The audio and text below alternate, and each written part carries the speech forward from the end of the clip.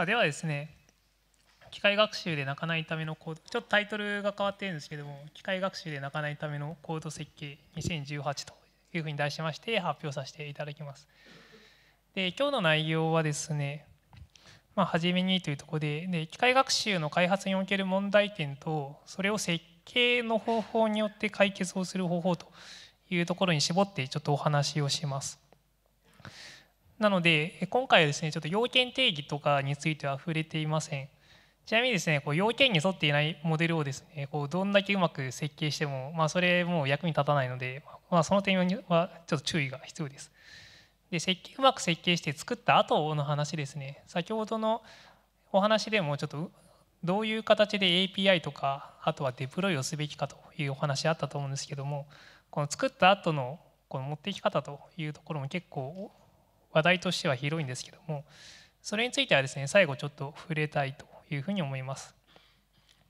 ちなみに、えー、今日これからお話しする設計の内容をですね、えー、うちのチームのメンバーにレビューをしてもらったところうんまあ僕的にはそんな新しい内容なかったですねみたいなことを言われたんですけど まあそういう意味ではですねその実務で機械学習の行動をやっている人がこう意識的に、まあ、あるいは無意識的にやっているノウハウというのが一応は詰ま詰まっているというふうに思いますので、まあ、そういう意味ではこれから開発を行ってみてたい方とかですねあるいはそのコードの設計方法に悩んでいる方という方についてはにとってはいい内容になってるんじゃないかなというふうに思います。で私は TIS 株式会社の戦略技術センターというところに所属しています。これ最初から研究開発をやっていたわけではなくてですねもともとコンサルをやってましたでその後に研究開発部門に移ったというふうな経歴がありますで今やっていることはですねサマライズデータフォーヒューマンという要約に関することをやっていますで要約というのはですね自然言語だけではなくてこう普通のデータも含めて要約というのをやろうとしています。で要約を行うというとこう普通になんかこう文章にするというのが思い浮かぶんですけどこれ実際自分で要約してみると分かるんですけどこう文で要約されてもなんか要約されてるのかされてないのかよく分かんないことが結構あるんですね。なのでこういうふうにですね例えばレビューの情報を図にしたりとか表にしたりとかパッと見て分かるような形で要約をするというところに現在挑戦をしています。で研究開発の過程で作ったソフトウェアっていうのは基本的にオープンにしています。これうちのチームの GitHub のページなんですけども総計のスターは800ぐらいあります。これは多分日本国内だとこの前だと10何位だったんですけど、まあ、なかなか上位の、えところに入っていると思います。であとはアーカイブタイムスという機械学習関連の論文の一言まとめを GitHub で共有する取り組みを行ってましてでこちらの方はですね他の会社さんも交えて月1で輪行などを行っていますでは本題ですねまず機械学習モデルの開発における問題点というところを整理したいと思います機械学習の開発におけるプロセスはこのように図式化できるかなというふうに思っていますで今回扱う問題はこの各プロセスで発生するものになっていますでまずは開発ですね。モデルを定義して学習用のコードを書くと。で学習を行う際はパラメータを設定して、まあ、当然学習データを入れると。で、まあ、最後にできたファイルをサーバーなり何なりに配置するということをやるんですが、まあ、各場所で問題がよく起こると。でまず1点目、開発時ですね、原因の特定がとにかく難しいです。学習がうまくいかないとかそういう問題が発生した際にその原因が山ほどあってちょっと特定するのが難しいという課題があります。であと学習をさせる時ですね学習をさせる時にいろんなパラメータを本当にいろんなパラメータを指定するんですけどこれがそのどこにも、まあ、特にソースコードに残らないんですね。こうお前どのパラメータ指定してあのモデル作ったの？すいません忘れましたみたいなこう履歴にも残ってませんみたいなまあ、そういうことが実は起きてしまったりするということです。であとデプロイ時には処理に必要な静的ファイルが多いという問題があります。機械学習モデルのファイルができるとですねあもうやった達成したっていうふうにもうなんか俺たちの戦いが終わったみたいな感じになに感じてしまうんですけど実際はですねその前処理に使うためのパラメータのファイルとかですねあと機械学習のモデルが出てくるのって0番1番とかそういうような数字なので0番って何だったっけ？いやクラス0は猫だよみたいな、まあ、そういうようなことを、えー、実際はやらないといけないと。ことで依存するファイルが結構多いという問題があります。でこの3つの問題点について、え、ちょっともう少し詳しく見ていきます。まず1点目ですね。で機械学習モデルの開発ではうまく動かない原因としてパッと上げただけでもこれだけ問題があります。まずモデルに原因があるというのは当たり前なんですけどもデータに原因があったりとかあとはモデルもデータもいいんだけど学習方法に問題があったりとか、まあ、それ以外の問題というのも実はあったりします。これ実例として前処理に問題があった例なんですけどこれゲームの学習を行おうというふうにしてこの画面をグレースケール処理したらですねデッキャラのアイコンが消えて学習できなくなったということが実はありました。まあ、これはこうしがない私がポカしたわけじゃなくてオープン AI というもう世界でも結構有数の研究機関でも、まあ、こういうようなですね前処理に実はミスが潜んでいたという問題が起きたりすることがあるということです。あとは新機能の学習結果というふうに呼ばれてるんですけど全く同じ設定でもその乱数のシードで結果に差が出るということが実はあります。こう上調子がいい時と調子が悪い時って別にお前人間かっていうような感じなんですけど、まあ、これぐらい差がつくこともまああると、まあ、ちなみにここに出しているのはちょっと強化学習の例で強化学習ではよくこういうことは本当に起こります。でただ画像とか自然言語処理はまあここまではひどくはないです、まあ、ただ差が出ることがあるっていうのは事実です。であとはこれはもうその他になるんですけども実装に使っているフレームワークはでフレームワークでも実は差があったりします。これは例として挙げているのは正規乱数で初期化を行うという例なんですけどもフレームワークによってですねこの平均と分散のデフォルト値が違うんですね。であれ論文通りっていうか著者が公開している実装通りなのになぜみたいな時に、まあ、こういうようなところですね差異が出てしまったりするということです。余談なんですけどこれ私は普段業務でケラスを使っているんですけどもケラスとその TensorFlow の中の tf.keras という、まあ、2つあってですねこれ普通に考えると両方同じだというふうに思うんですけども tf.keras だとその TensorFlow の方で動くんでケラスは分散0.05だけど tf.keras だと分散1になってはい死亡と、まあ、そういうことが起こってですね、まあ、これで3日間ぐらい溶かしたことがあります。まあ、というわけでですね、まあ、散々、まあ、こういうようなですねいろんな、え問題があるということで、まあ、実際には機械学習のモデルがうまくいかない時ってモデルの問題と思いがちなんですけども結構いろんなところに、え落とし穴があります。でしかも穴が多い以外に回避方法というかその調整するパラメータの幅とかにもこう山ほどレンジがあるのででしかも学習には時間がかかるので原因の特定がすごい難しいというような問題があります。あとは学習の際コード上で管理できない依存が発生するという問題があります。で学習の結果生成される機械学習モデルというのはこのソースコード以外の要素への依存っていうのが結構出てきます。これまあサンプルのコマンドラインの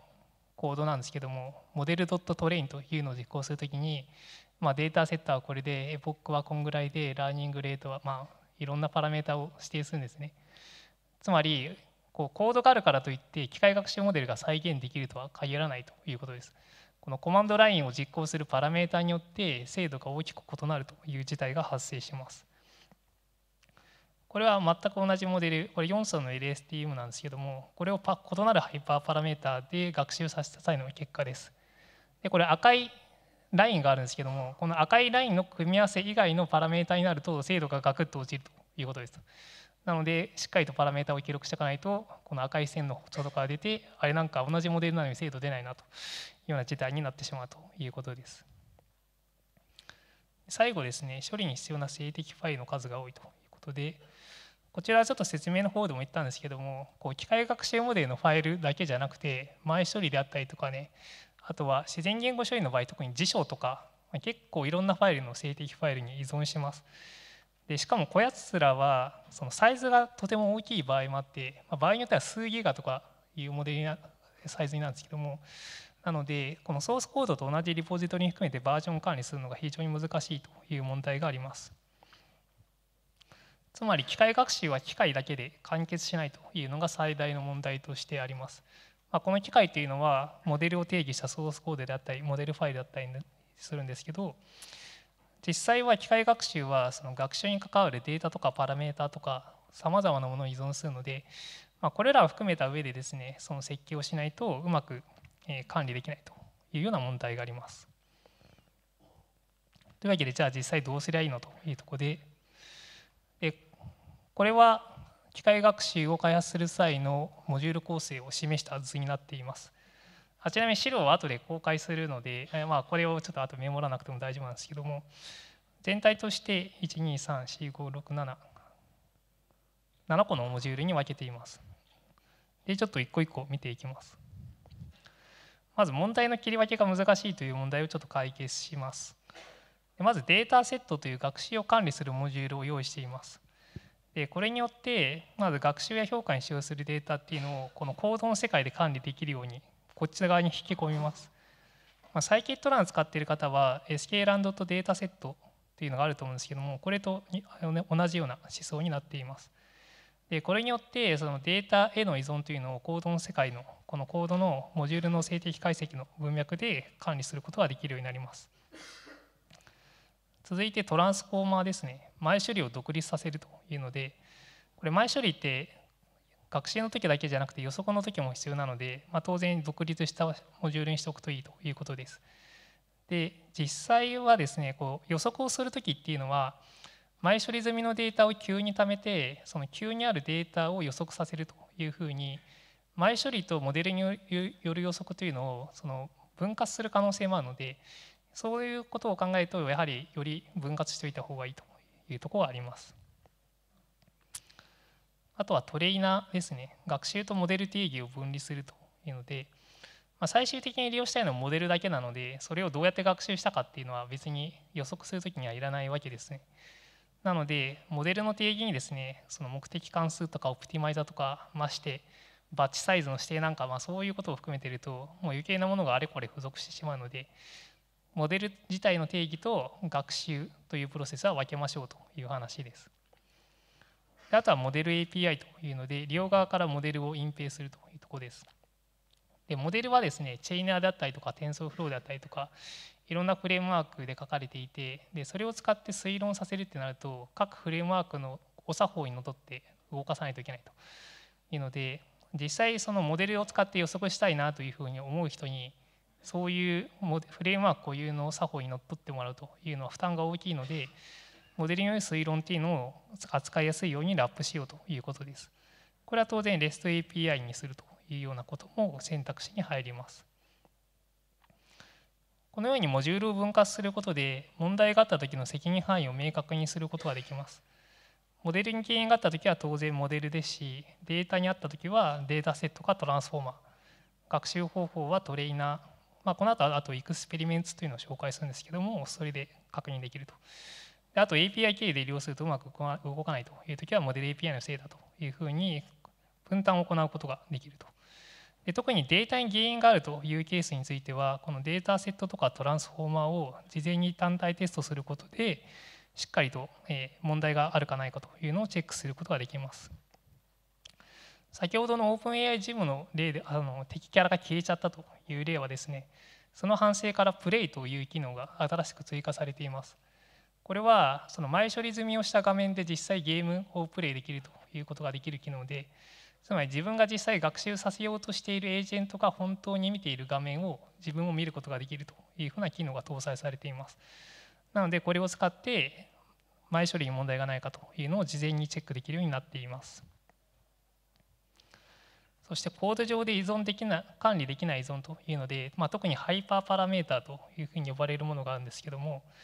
このハイパーパラメータを使った学習というのをもうコードに起こしておこうというのがこのエクスペリメンツというのになります。このようにですね、まあ、下にサンプルのコードを載せているんですけどももうハイパーパラメータを指定した実行スクリプトというのをもう実行可能なスクリプトの形で残しておこうとつまりコマンドライン引数は使わないということですねコマンドライン引数じゃダメなのっていう話あるんですけどもこれやっぱ確実にログを残す手法がないんですね。でただその機械学習のホスティングサービスがいくつか出ているので、まあ、それで賄えるようになる可能性はあります。であと指定するハイパーパラメータのバリエーションってやっぱ無数にあるじゃないと。でそれごとにエクスペリメントを用意すると膨大な数になっちゃうんじゃないかと。いうふうな指摘もあると思うんですけども本当に効くパラメータの数と範囲って実はそれほど多くないというのが体感としてあります。で本当にパラメータサーチが必要な場合はそもそもパラメータサーチを行うスクリプトを作ればいいと。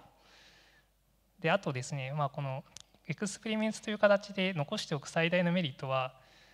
この開発者の時間の浪費を防ぐことができるというところです。